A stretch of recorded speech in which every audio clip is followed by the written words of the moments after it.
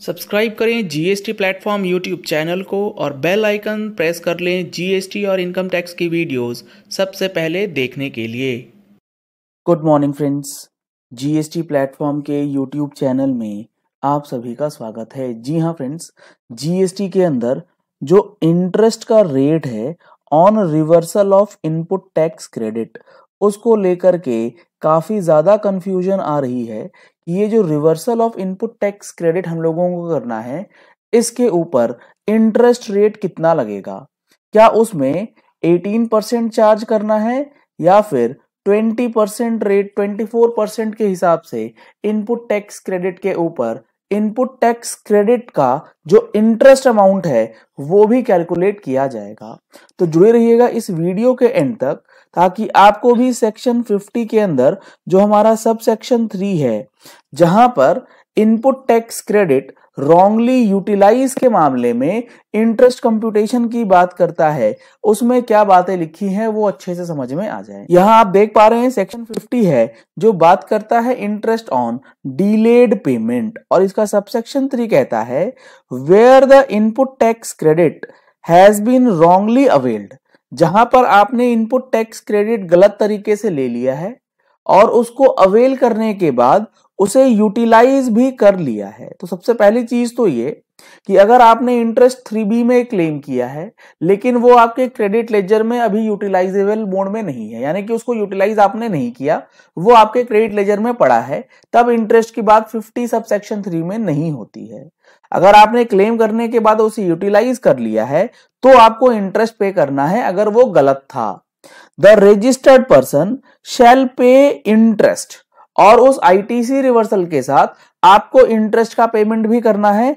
On such input tax credit wrongly availed and utilise at such rate not exceeding 24 percent अब यहाँ पर confusion इसलिए आती है क्योंकि यहाँ पर ये जो लाइनिंग लिखी गई है कि वो जो आईटीसी रिवर्सल के ऊपर इंटरेस्ट लगना है, वो लगना है कई लोगों का मानना है 24 परसेंट जबकि यहाँ पर लैंग्वेज लिखी गई है कि वो जो इंटरेस्ट रेट होगा, वो एक्सीड नहीं करना चाहिए 24 परसेंट से, यानी कि मैक्सिमम रेट जो है, वो 24 परसेंट हो सकता है। But actual rate for interest क्या होगा?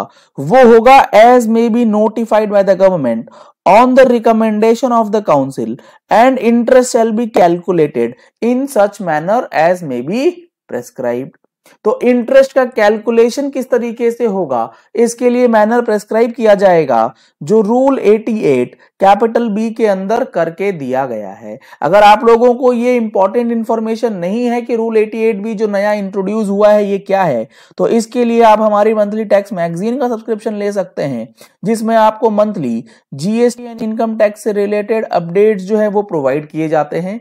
और अगर आपको जीएसटी का फुल कोर्स यानी कि जीएसटी के सारे सेक्शंस अच्छे तरीके से समझना है तो उसके लिए भी आप सेम नंबर पे कॉल करके व्हाट्सएप करके आप इसका बेनिफिट ले सकते हैं क्योंकि जीएसटी के फुल कोर्स में अभी चल रहा है डिस्काउंटेड ऑफ़र तो आप इस डिस्काउंट ऑफ़र की बेनिफिट के लिए भी आप दिए गए नंबर्स पे संपर्क कर सकते हैं। अब यहाँ देखेंगे आप तो यहाँ बताया गया है कि मैक्सिमम 24 परसेंट होगा, लेकिन जो रेट है वो नोटिफाई करेगी गवर्नमेंट तो क्या गवर्नमेंट ने नोटिफिकेशन निकाला है? जी हाँ।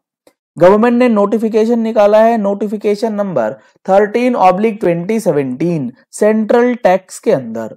और इसमें इन्होंने बता रखा है कि सेक्शन 50 सब सेक्शन वन हो या सेक्शन 50 सब सेक्शन थ्री हो, इन दोनों के लिए इंटरेस्ट रेट क्या प्रेस्क्राइब है? 50 सब सेक्शन वन बात करता है, अगर आप अपनी आउटपुट टैक्स लाइबिलिटी डीले करके जमा करते हैं, तब और सेक्शन 50 सब सेक्शन थ्री कहता है कि आप इनपुट टैक्स क्रेडिट गलत अवेल करने के बाद गलत यूटिलाइज कर लेते हैं तो आपका इंटरेस्ट क्या बनेगा?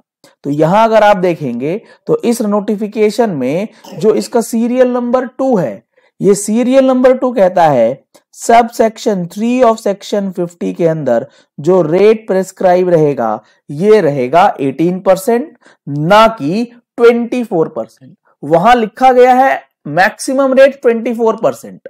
लेकिन एक्चुअल रेट जो होगा, वो नोटिफाई करेगी गवर्नमेंट जो 24 परसेंट से ऊपर नहीं हो सकता है। तो एट प्रेजेंट जो आपका नोटिफाइड रेट है, वो है 18 परसेंट का।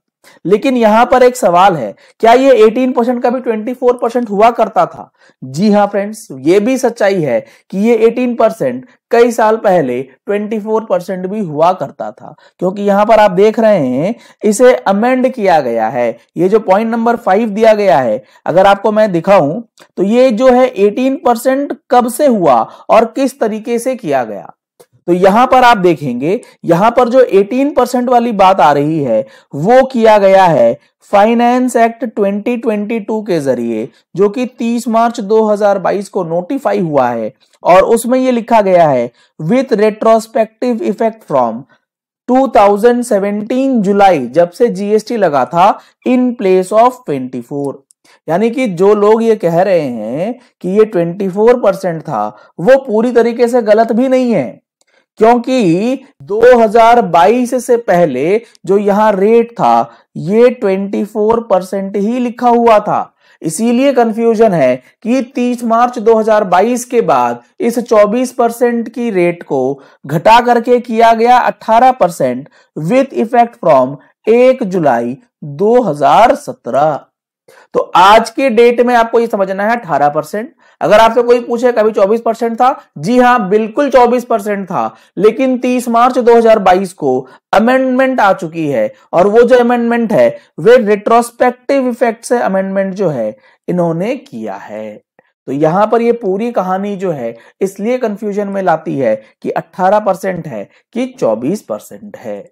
चलिए इस वीडियो को यही एंड करते हैं। आशा करते हैं आपको ये 18 परसेंट और 24 परसेंट की जो कहानी है, वो अब क्लियर हो गई होगी। अगर आपने हमारे टेलीग्राम चैनल को अभी तक ज्वाइन नहीं किया है तो आप हमारे टेलीग्राम चैनल को ज्वाइन कर सकते हैं। जीएसटी प्लेटफॉर्म अपडेट्स के नाम से हमारा टेलीग्राम चैनल जो है, उसमें आपको regular PDF files notification circulars जो हैं, वो प्रोवाइड किए जाते हैं। अगर आपने हमारे यूट्यूब चैनल पे फ़र्स्ट टाइम ट्यून इन किया है तो आप हमारा यूट्यूब चैनल सब्सक्राइब कर सकते हैं। नीचे दिया गया रेड कलर का सब्सक्राइब बटन प्रेस कर लीजिए साथ में जो बेल आइकन है उसे प्रेस कर लीजिएगा ताकि वीडियोस की नोटिफिकेशंस आप तक रेगुलरली पहुँचती रहे।